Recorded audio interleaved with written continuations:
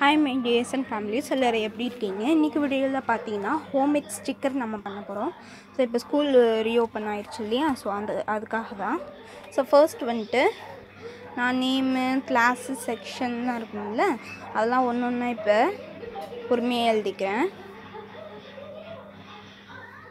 So இப்போ class எழுதிட்டு section நீங்கள் இந்த மாதிரியே கூட பண்ணிக்கலாம். அப்புறமேட்டுக்கு சப்ஜெக்ட்டு அப்புறமேட்டுக்கு அப்புறமேட்டுக்கு வந்துட்டு ஸ்கூல் ஆர் காலேஜ் நேம் நான் இப்படி எழுதிக்கிறேன். நீங்கள் school name or college name நீங்கள் இப்படி கூட எழுதிக்கலாம்.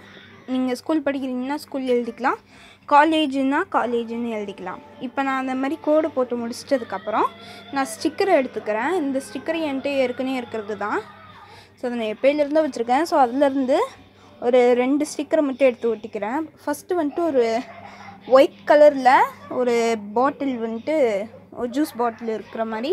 அதை நான் எடுத்துகிட்டு அப்புறமேட்டுக்கு ஒரு ஐஸ்கிரீம் கோன் ஐஸ்கிரீம் இருக்குல்ல அதை அப்படியே ஒட்டிக்கிறேன் ஸ்டிக்கரு ஸோ இப்போ வந்துட்டு நம்ம அதை ஒட்டிக்கலாம்.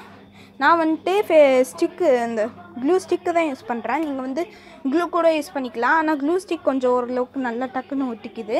ஸோ அதனால தான் இப்போ நான் க்ளூ ஸ்டிக் யூஸ் பண்ணி ஒட்டியிருக்கேன். இப்போ வந்துட்டு நான் ஒட்டிக்கிறேன். ஸோ இப்போ ஒட்டி முடிச்சிட்டேன். ஒட்டி முடிச்சிட்டதுக்கப்புறம் இதில் என்னோடய பேர் எழுதிட்டு அப்புறமேட்டுக்கு கிளாஸும் செக்ஷனுமே எழுதிக்கிறேன். அப்புறமேட்டுக்கு சப்ஜெக்ட்னா ரஃப் நோட்டு தான் நான் ரஃப் நோட்டை தான் யூஸ் பண்ண போகிறேன் இதேமாரி எல்லாத்துக்குமே நான் நீங்களுமே பண்ணி பார்த்துக்கலாம். நீங்கள் ரஃப் நோட்டுக்கு மட்டும் கிடையாது. எல்லாத்தையுமே நீங்கள் பண்ணிக்கலாம்.